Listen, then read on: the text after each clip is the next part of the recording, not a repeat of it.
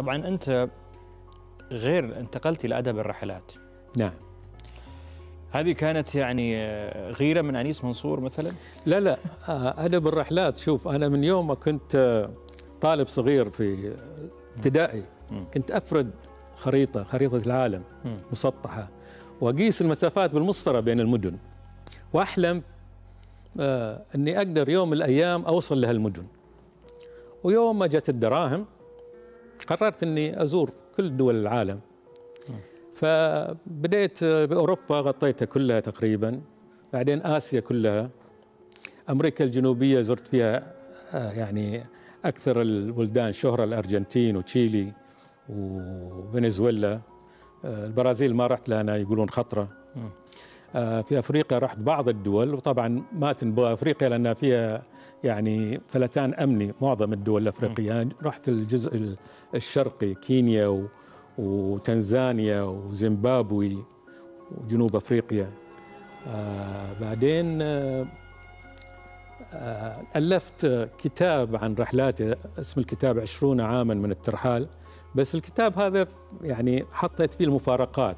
مو كتاب آه، آه، أصور المدن اللي زرتها أو أتكلم عنها بس المفارقات اللي صارت لي في كل دولة من الدول هذه. آه، الكتاب آه، يعني ما حد اهتم فيه.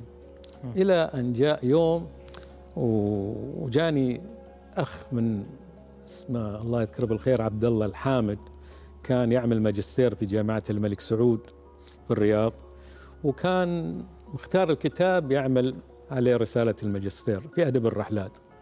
وفعلا أخذ الكتاب هل المكتبة الخليجية تعاني من شح في موضوع أدب الرحلات؟ أدب الرحلات نعم. آه بس في الآن في ناس بدأوا يهتمون بهالمجال يعني أنا من الصغر آه، قلت لك عن هذه سالفة المدرسة وقياس المدن بس بعدين أنا اثر أثرت فيني آه، شخصيتين أو كتابين آه، أنيس منصور كتابة حول العالم في حول العالم أظن في 100 يوم أو لا. إيه. أعتقد. المهم هذا كتاب الشهير عن رحلات وأنا قرأته بشغف ولكن بعدين بعد ما رجعت أقرأ الكتاب حصلت فيه كثير من المبالغات بيني وبينك.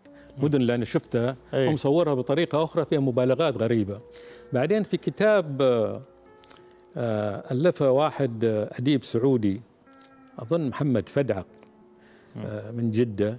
رحلاتي إلى الشرق الأقصى وهذا أثر فيني كثير.